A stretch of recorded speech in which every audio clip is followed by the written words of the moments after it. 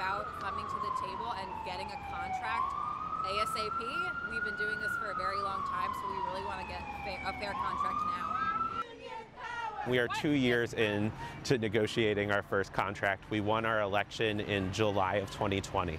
I, I think it's uh, maybe surprising to a lot of people that there are many workers who work at this museum who have to have second jobs just to survive. Um, that's just how poor our wages are. Um, and our healthcare is uh, outrageously um, expensive. So, for instance, I believe it's about 90% of folks in the unit are on the high deductible health care plan, which means that often we can't afford to actually use our health insurance and have regular health care.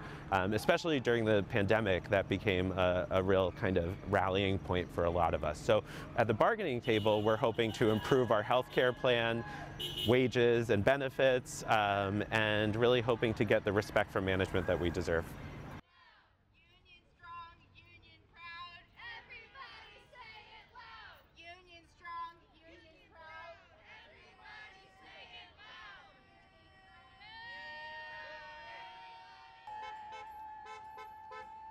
A union member as well, and uh, you know, having a strong union contract has been so meaningful in my life and has been such a big impact on my quality of life.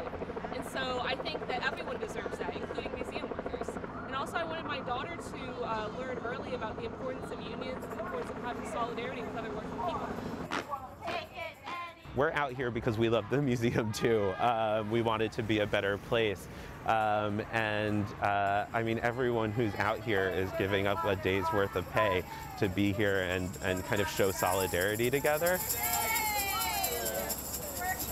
I'm really hoping that management comes to the table this week um, with some real with a real change of heart and attitude because um, I don't think any of us like want to shut down the museum um, but you know it, it's we're out here to show them that we can and you know we'll do what's necessary to get respect.